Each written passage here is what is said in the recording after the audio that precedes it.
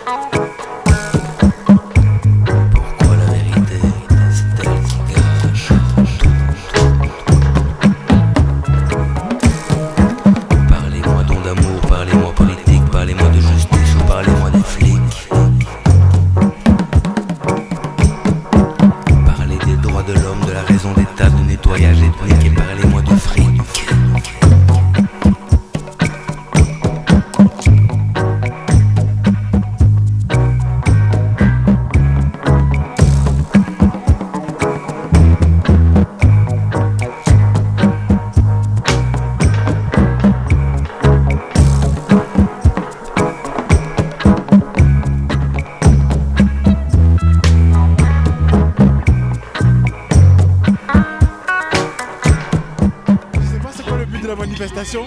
Mais c'est une marche pour la légalisation de la marijuana. Ah d'accord. Voilà, voilà, voilà. Tu vois comme faux, là? D'accord, a, il y a ok. il y a plein de monde qui fume. Libre- librement, entouré de policiers. On a le droit de fumer librement ici, hein? Ben, non pas habituellement, mais là, Aujourd'hui, semble-t-il que les polices ont permis que ça se passe. J'ai parlé à des policiers tantôt, mais ils n'étaient pas au courant, tu sais. Tu? Est-ce que tu es pour la, la légalisation de la marijuana? En fait, non, je suis pas, je suis pas contre.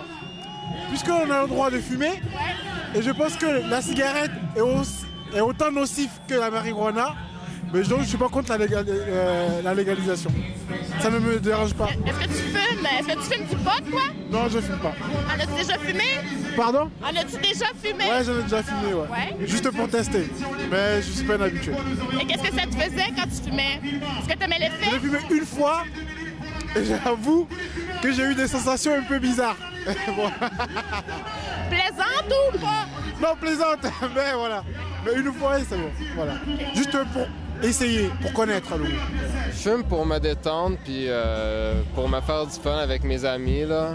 Puis, tu sais, c'est, c'est vraiment pour ça. faut être conscient de la façon qu'on le fume. Là. C'est, c'est pas juste fumer quand t'as des problèmes puis que ah, ah, je sais pas quoi faire. mais- Non, c'est, c'est vraiment genre vivre de quoi d'un peu différent dans le monde gris euh, du moment. Je pense pas qu'il s'agisse d'interdire euh, la consommation puis la vente pour faire en sorte qu'il y en ait moins. Puis ce que j'aimerais, ce que j'aime pas, c'est que ce soit le crime organisé aussi qui euh, ramasse un petit peu tous euh, les profits de ça euh, sans qu'il y ait aucun contrôle de qualité non plus. À l'heure actuelle, chaque producteur fait absolument ce qu'il veut. Donc, il y, a, il y a un produit de consommation quotidienne pour des centaines de milliers de Québécois qui peut être contaminé dans un pesticide qu'on n'envisagerait même pas pour le maïs, par exemple. Donc, en termes de santé publique, aussi, il y a un produit de consommation quotidienne qui échappe complètement à un contrôle sanitaire. Moi, je trouve ça grave. Ceux qui sont contre la légalisation disent que légaliser encouragerait la consommation. T'en penses quoi? Ouais, sûrement un petit peu au début, mais après ça, ça se calmerait, j'imagine, puis ça, ça, ça viendrait à un équilibre, j'imagine. Puis, Certains d'autres, certains autres, c'est-à-dire disent que tu commences à consommer du pot, tu risques de consommer d'autres types de drogues beaucoup plus fortes. Ben, selon moi, c'est comme un peu l'alcool. Euh, Il y en a qui prennent un peu d'alcool puis ils en prendront jamais beaucoup, puis il y en a d'autres qui en prennent un petit peu puis ils tombent dedans. Euh, C'est un petit peu l'affaire, euh, la même chose avec les drogues. Il y en a que ça va arriver malheureusement, puis il y en a d'autres que non. Je pense que c'est en tant que personne, c'est toi qui décides un peu jusqu'à un certain point. Puis est-ce que tu trouves que l'alcool est pire que le pot? Ou non, au niveau des conséquences? Euh, ça ressemble. Ça te manque. OK. Je vois pas une différence entre les deux, mettons. OK. Est-ce que toi, tu euh, fumes des battes? Non, jamais. T'en fumes pas? non. OK. Mais tu penses pareil qu'on devrait légaliser? Oh, oui, complètement. Toutes les causes sont nobles. Ouais. Mais il faut choisir en même temps, parce qu'il y en a beaucoup de causes. Ah oui, on peut pas tout faire en même temps. Mais moi, ces temps-ci, je m'occupe de l'environnement. Ben, je trouve que c'est assez désastreux ce qu'on est en train de faire avec la planète. Mais euh, ça n'empêche pas que toutes les autres causes sont importantes. Je veux qu'on fasse un maximum de bruit pour la liberté. Je serai en Afrique la semaine prochaine. Et ces gens-là, en ce moment, de faire, à cause du système, le FMI, l'OMC, la marijuana fait partie de la même cause. Est-ce que vous êtes libre? Si vous êtes libre,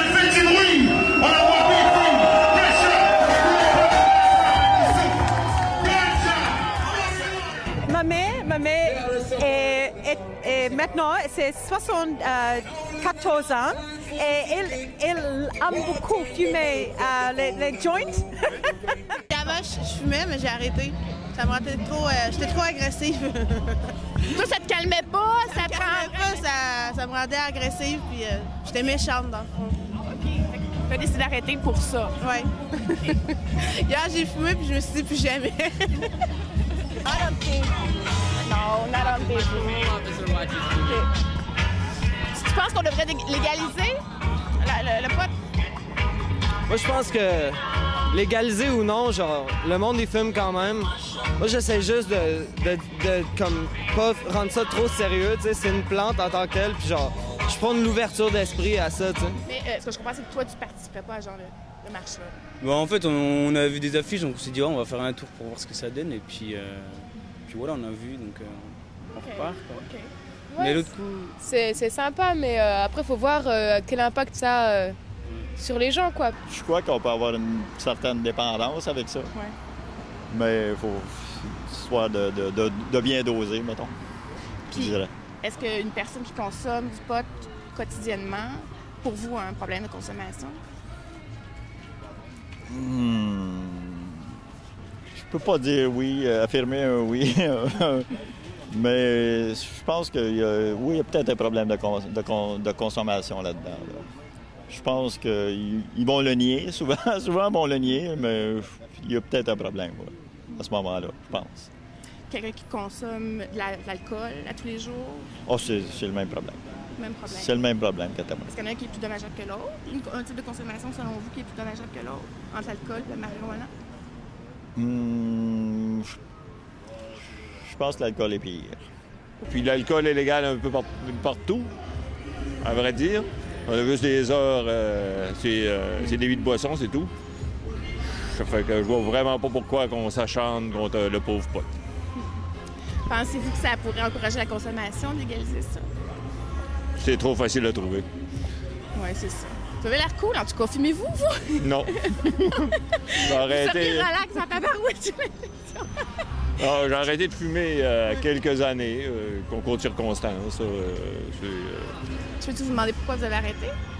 ben, c'est comme plus la même vie. Là. C'est un jeune enfant. Bon, on, est, on est un peu plus sérieux dans la vie. On prend le job plus au sérieux. mais- Un parent qui fume à tous les jours, c'est un mauvais parent? Euh, J'imagine qu'il y a du monde qui sont capables faire les deux. Moi, ça me relaxe un peu trop. fait que- Ouais, moi, j'arrive de la manifestation euh, pour euh, les services de- publics de santé. Je trouve que c'est complémentaire. Complémentaire. Les, les usagers médicaux, les, les- les gens qui l'ont vraiment besoin pour vivre, pas les usagers récréatifs, mais c'est les, les personnes qui l'ut- l'utilisent comme médicament, c'est eux qui sont, qui sont vraiment, qui, qui souffrent le plus avec la prohibition parce que leur, choisi- leur, choix de, traitement est stigmatisé, même si c'est quasi légal c'est encore quelque chose de, de- tabou avec leur famille, leurs amis, quoi que ce soit. Puis c'est la prohibition qui, qui qui créent le marché noir qui, eux, ils doivent euh, participer dedans pour avoir ce qu'ils ont besoin.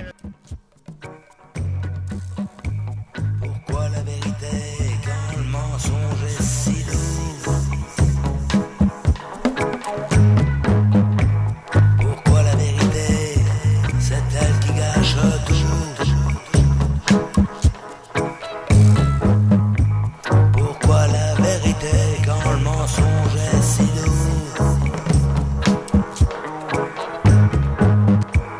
Pourquoi la vérité? Comment tu verrais ça, la légalisation? Ce serait quoi, par exemple, le rôle du gouvernement là-dedans? Ben, euh, moi je pense que comme toutes les drogues, ça sera forcément contrôlé. En plus, au Québec, il y a des, contrôles très spécifiques. Enfin, moi je vois pas rapport à France au niveau euh, du tabac, de l'alcool, etc. Il y aura sûrement un contrôle euh, particulier, des taxes, c'est logique. Mais ça serait peut-être un moyen pour l'État de contrôler d'une meilleure manière que par la répression. Je me suis arrêter une fois, là, tu sais, ça, ça a quand même fait chier. J'ai dû passer en cours pour ça. Fait que j'ai pas vraiment aimé ça, cette expérience-là. Puis je trouve ça plate pour, pour la marijuana que ça doit arriver, ça, c'est... Je pense que le gouvernement devrait vendre du pot à les usagers récréatifs pour payer le pot médical pour ceux qui ont besoin. Puis t'as eu quoi comme, euh, comme sentence? Qu'est-ce qu'on t'a... Le juge t'a donné quoi? Ben, j'ai pu m'en sortir. J'ai eu un. euh, voyons. C'était un, pas un bris de cause, mais c'était quelque chose. C'est quelque chose qui annulait la cause. euh, donc, j'ai pu m'en sortir, mais ça a pris euh, trois séances qui ont coûté 200 chacune. Est-ce que tu trouves que le, le Québec est plus tolérant? Beaucoup, beaucoup plus tolérant qu'en France. Et, euh, ils ont déjà beaucoup avancé. En France, des manifestations comme ça, c'est très rare, très difficile à organiser. Les policiers restent pas sur le bord là, ils viennent, voilà. Donc euh, forcément, ça décourage des gens, mais euh, mais bon, on espère des progrès pour la France. En ce moment, c'est pas trop ça, mais pas trop, pas trop, non. Est-ce que tu penses que c'est possible avec le gouvernement Harper, par exemple? Est-ce que tu penses que c'est possible qu'on en vienne comme à faire le choix de société légaliser la, la marijuana? Avec Harper? Ouais. Euh, je pense que si M. Harper veut gagner une majorité, il devrait légaliser le cannabis.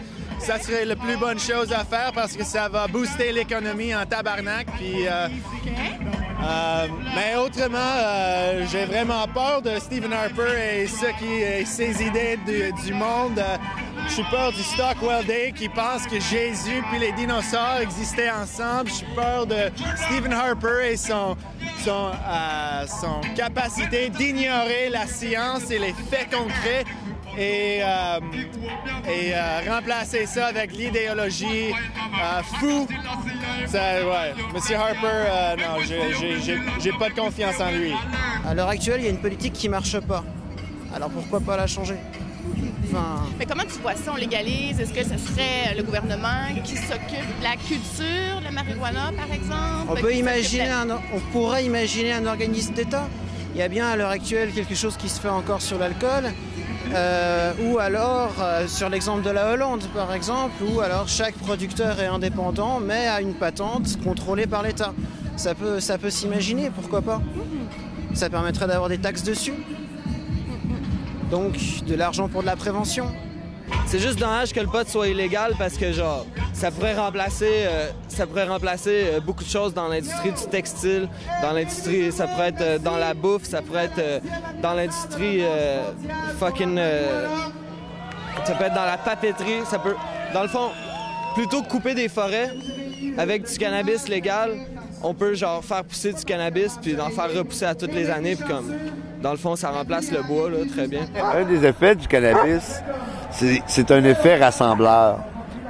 Les gens qui en fument vont avoir tendance à le partager avec différentes personnes et, élargir le cercle de leurs connaissances.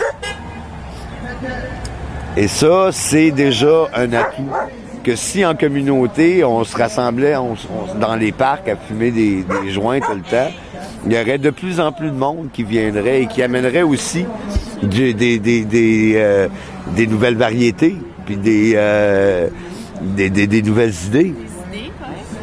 Et, euh, et ça stimule justement l'intellect à, à- à- à trouver des idées originales, à trouver des façons de corriger un peu la façon dont on vit pour être un peu plus écologique, être un peu plus sensible à, la vie autour de nous qui existait avant que nous on s'installe ici et qu'on mette du béton partout.